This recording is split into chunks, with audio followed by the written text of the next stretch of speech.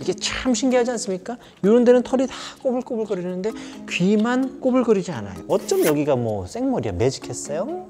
근데 왜 안 자르는 거야? 이걸 왜 잘라? 이거 자르면 큰일 나지. 이걸 어머니 미용실 갔는데 이거 자르면 어떻게 하실 거예요? 만약에 자르면 고소하죠. 고소해야죠. 안녕하세요. 훈련사 가용입니다. 오늘 소개해드릴 견종은 캐벨리어 킹 찰스 스페니얼입니다. 오 예쁘라. 오.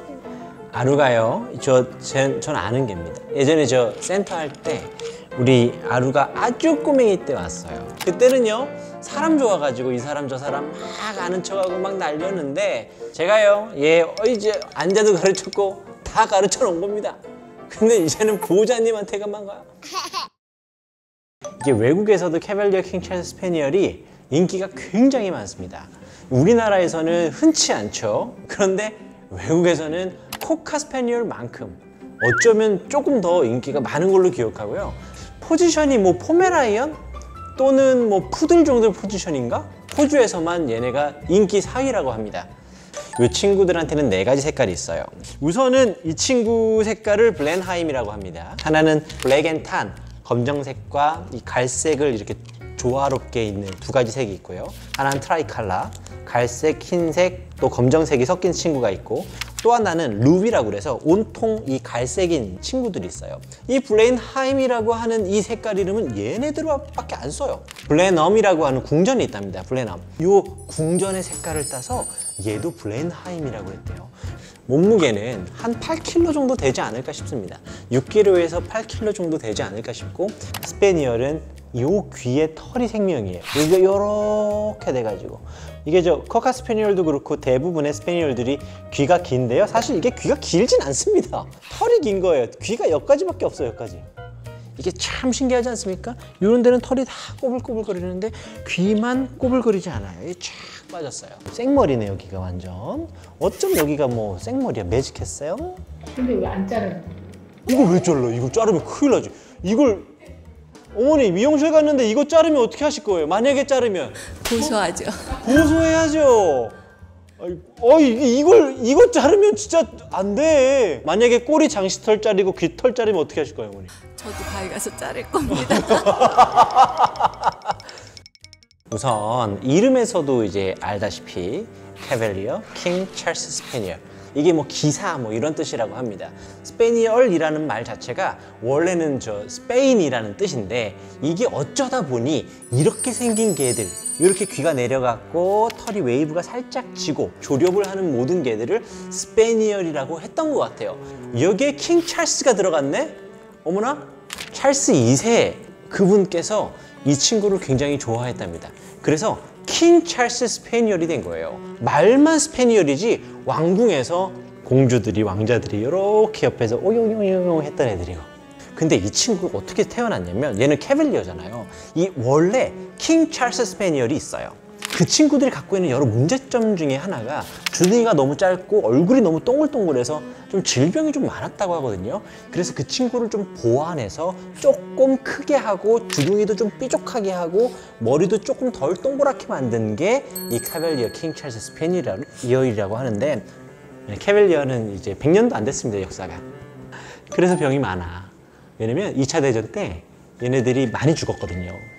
많이 죽어가지고 몇 마리가 안 되는 애들로 만든 견종이에요. 이게 대표적으로 심장에 문제가 있다고 합니다. 제가 굉장히 잘 알고 있는 선생님이 심장 전문의시거든요. 그분이 예전에 흘러 지나가는 말로 어, Cavalier King Charles Spaniel은 어, 모든 개들이 심장병이 있다. 제가 예전에 한번 상담했던 Cavalier King Charles Spaniel이 하나 있는데 산책을 나가면 이렇게 이렇게 이렇게 뛰었었던 경우가 있었어요. 질병 얘기 많이 하죠. 그 동호회 분들하고. 그 이천판 폐쇄 부전증이라는 아, 심장병. 이천판 폐쇄- 네, 심장 판막이 제대로 닫히지 않는 아, 그냥 다. 타고난다고 하더라고요. 저희 후두골 이형성증 그 스컬 크기에 비해서 뇌가 더 크기 때문에 그치. 척수가 이제 등 척추를 따고 흐르는 그 병이 있으면 사지 마비도 오고 눈은 각막과 결막이 아. 유난히 건조해져서 결막염이나 각막염이 많이 그래서 생긴다고 해요. 걔네가 빨개지는구나 눈이. 네, 그래서 더 드라이할 때 가능하면 수경을 씌우고 한다든지 가능하면 눈 쪽으로 바람이 안 가게 이 조심합니다. 드라이를 해요? 아 목욕하고 난 다음에 드라이. 네, 털 말릴 때. 어떻게 그런 게 있어? 어쩌다? 네, 근데 아루는 다행히 괜찮은 네, 다 괜찮은 것 같아요. 슬개골 가벼운 거 빼고는 네, 괜찮습니다. 이제는 소형견들은 스무 살까지 보거든요.